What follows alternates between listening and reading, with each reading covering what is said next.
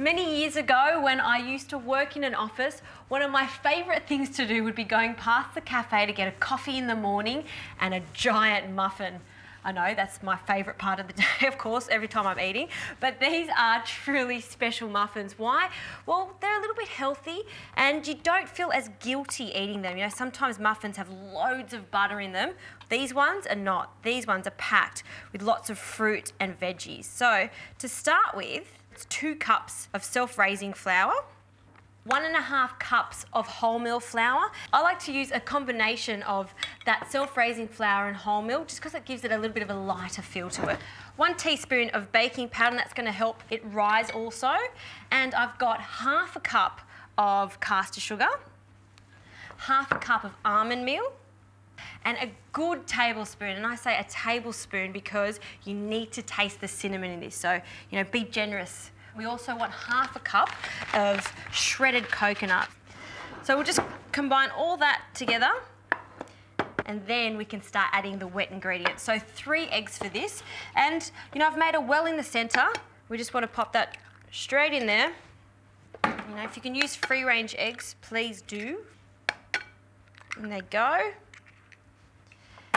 And you start to bring in the sides of this mixture. This will ensure that there won't be any lumps in our batter. Don't get overly excited when you're doing this and try to bring too much in together because you will get lumps. You can see this is getting quite thick now, so we're ready for the remaining of the wet ingredients. So I've got one and a half cups of orange juice. And you know, it sounds a little bit interesting instead of using milk or cream, but it really works. And you can use any type of juice. I've done this with apple juice is wonderful, pear juice is fantastic. So, you know, give it a try. It's just a little bit lighter than when you're using cream or milk. A little bit more. And this is where you really need some muscles because you need to give that a really good stir to make sure that we don't get any of those pockets of flour there, okay? So you can see it's all coming together. All right, so I just want to show you the right consistency of this. You can see it's still a little bit thick and it's just folding on itself. You know, that's the right amount of liquid in there. Perfect. So this is where you can start to be a little bit creative in the kitchen.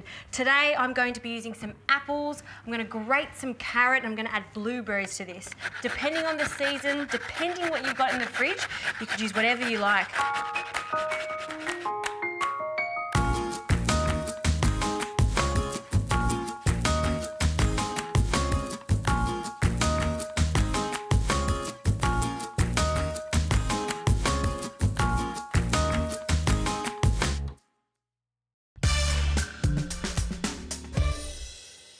So I said I'm making giant muffins. So I've got an extra large muffin tin here. And look, the best way to start filling these, two big spoons and just scraping each one. This just makes it easier and it won't go everywhere. You know, with muffins, you don't want them to stick. So get yourself a really good non-stick muffin tin like this and I'm filling these up at least three quarters full because I do want them to rise quite high. You know, they are giant muffins. Okay, so to finish these off, I've just reserved a cheek of that apple and I'm going to just finely slice this. This is just to make them look, you know the ones that you get in the cafe that have got all those beautiful garnishes on the top? This is what they do. So two pieces of apple or three, just fan that on the top, just like so.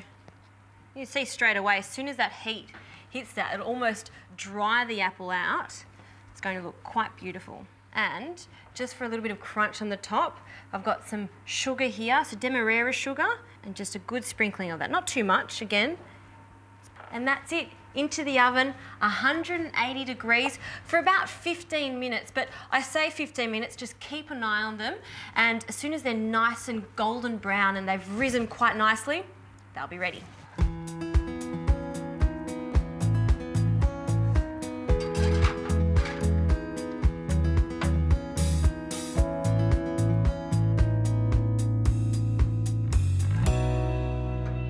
muffins are looking fantastic. And look, I've allowed them to cool slightly. You can see that just helps them come out. Look at that. Huge muffin. But, like I said at breakfast, these go down a treat. Nice little coffee on the side. You know, you won't be hungry until lunch after these. And look, have a look at these. Oh, a good muffin, a breakfast muffin full of flavours. Straight away, as soon as you break into that, I'm smelling blueberries, I'm smelling the apple. I love that, seriously, that's a good muffin.